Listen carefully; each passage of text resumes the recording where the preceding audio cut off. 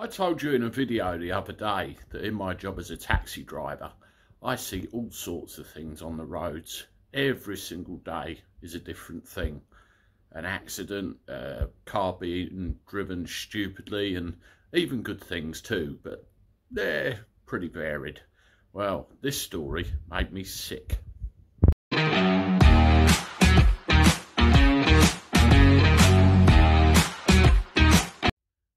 Do everybody? Welcome back to the channel for a Sunday. Hope you're doing all right. Well, as you all know, I'm a cabbie and uh, I'm out on the road fairly regularly on a daily basis, driving thousands of miles every year and I see all sorts. I brought you a story the other day about a girl that was tragically killed hitting a tree at 90 miles an hour, not wearing a seatbelt, and it was all because of a nail in her tyre, lost control of the car, smack, end of life. Tragedy, you can say what you want about it, you can think what you want about it, but that's the end of it, a tragic waste of life.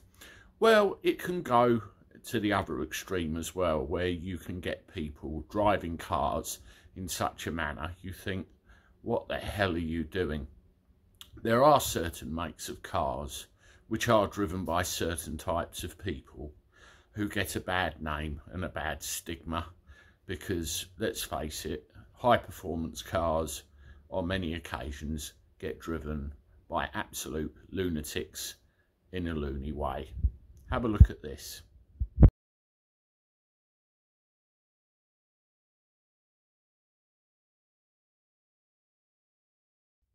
Yes, Mr. Scott Roe 39 years old, charming individual he is, was driving his Mercedes along behind a vehicle who was sticking to the speed limit.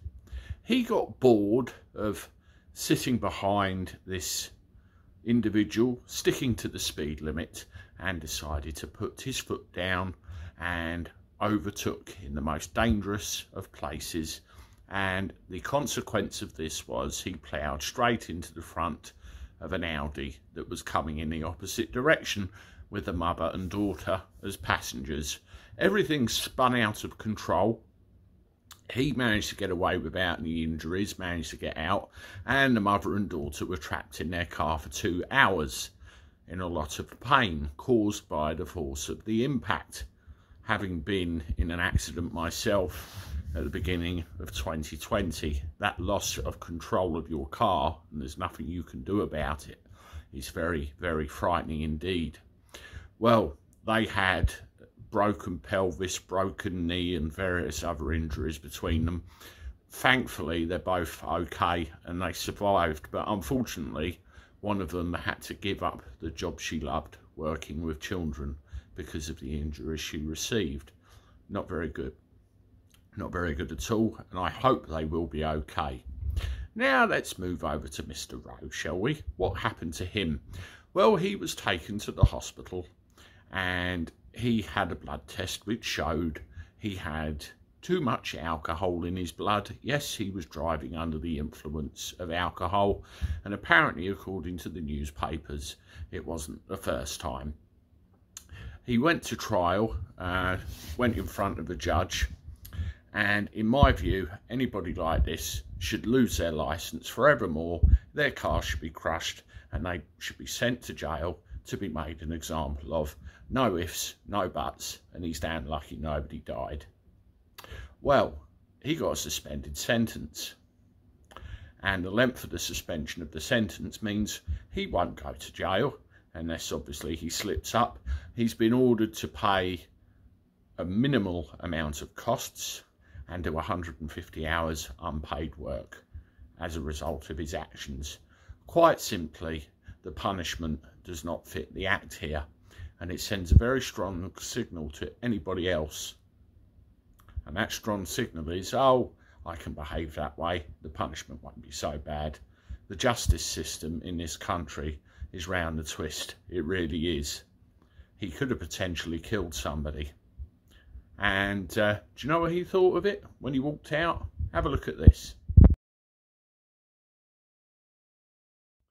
Well, I got off the hook. I'm going to light up a fag and I'm going to say, Q. which is exactly what that picture represents.